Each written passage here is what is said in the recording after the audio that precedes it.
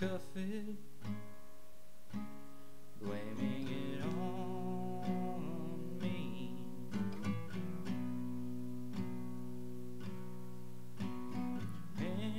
Anyway, you force it, confessing.